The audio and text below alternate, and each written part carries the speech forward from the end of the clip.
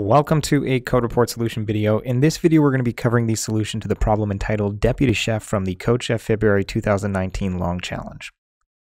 The problem statement is here. If you want, you can pause the video and read it, but it's very long and uh, it tells a long story that's not really necessary to understand the problem. So instead, what I'm going to do is skip this and uh, go straight to the examples and just explain the problem with the examples. So here are the two examples that CodeChef provides us with. And uh, the first number is t, the number of test cases. Uh, the next number for each of the test cases is n, the number of soldiers. And then we have uh, some numbers a and some numbers d that represent attack and defense of each of our n soldiers. So we'll take a look at the first example where we have four sol soldiers. And if we zoom in, uh, these are the attack and the defense values. So the first line uh, represents the attack values, and the second line represents the defense values for each of our four soldiers. So we have four soldiers, each of them have an attack and an, a defense. And basically, the problem tells a story about how they're all standing in a circle uh, in the order that they're specified. So this guy is next to uh, this soldier, and then also the soldier at the end here. So you can imagine these soldiers in a circle. And at a certain point in time, they're all going to attack each other. And you can either attack the person on your left or the person on your right. And the question asks to return the defense value of the uh, the maximum defense value of the soldier that's guaranteed to live. And the way you live is defined on uh, whether or not the defense is greater than the total value that attacks you. Um, so in the worst case, uh, both the person on your left and the person on your right is going to attack you. So basically, this problem boils down to just looping through, you're attacking your defense once and checking is the defense of individual I greater than the combined attack of the uh, soldier I minus one and soldier I plus one and to just return uh, the value that is largest for the defense. And if there is no soldier that has a defense greater than the combined attacks of the person on the left and right, then you return negative one, which is the case for the second example here. Uh, so if we calculate the combined attacks for each of the people uh, or the soldiers on the left and right, we get the following. So you can see for our first soldier here, uh, if the person on the right attacks, they have an attack of one, and the person on the left is the person at the end of the array, also has an attack of one. The combined attack is two.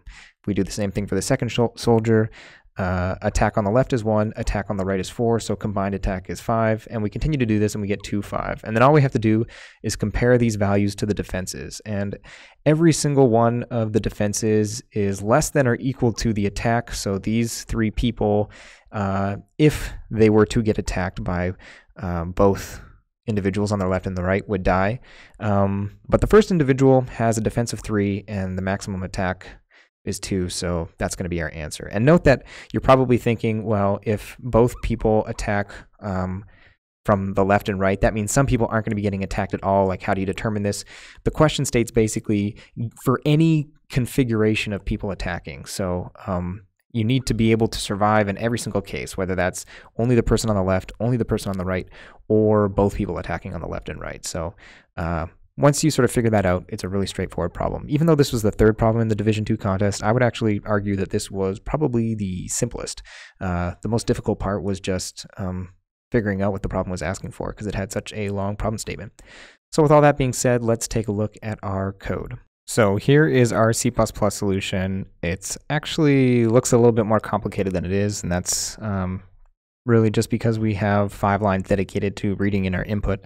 Um, but the actual solution, the algorithm part of this is only four or five lines itself. So uh, taking a look at what we have here, we're reading in T the number of test cases, looping through uh, our T test cases. For each test case, reading in N the number of soldiers, and then we're reading in our values uh, for our attack A and our defense D. And uh, we have a little trick here because we have to do comparisons of the soldiers that are at the I minus one and I plus one elements. For the first and last soldiers, that would mean that we have to do sort of a wraparound check. Uh, but in order to avoid that, we can just sort of extend the um, length of our vectors by two uh, for an extra person at the beginning and the end. And uh, you can see that's why we're reading into i plus 1, even though we're looping from 0 to n. And what that is is just sort of duplicating the person at the beginning, at the end, and the begin at the end at the beginning. So you can see we're storing to the first individual here a copy of the last person, and to the last person a copy of the first person. And this just enables us to avoid having to worry about wrapping around. And we can just write a single for loop, and we're good to go. So once we've done this, we come down to the algorithm portion and we're initializing the answer that we're going to output to negative one in case that we're not able to find a soldier that's able to defend uh, him or herself. And then we're looping through note from one to uh, n and then checking uh, is the combined attacks of the soldiers at i minus one and i plus one uh, less than the defense of the current soldier that we're looking at. And if so, we want to find the maximum value there. So we're setting answer to be the maximum of the current value and whatever the defense is of the individual or the soldier that we're currently at. And once we finish this for loop, we just output the answer. So uh, like I said before, pretty straightforward problem. Uh, just need to get through the problem statement and figure out what the problem is asking. And the last thing to talk about is the time complexity, which for this problem is going to be big O of t times n, where t is the number of test cases and n is the number of soldiers. As always, if you enjoyed this video and found it helpful, hit that like button. If you want to see more, make sure to hit that subscribe button. You can follow me on Twitter for reminders 30 minutes before contests start, and you can find all of the code shown in my videos on my GitHub page. Thanks for watching, and I'll see you in the next video.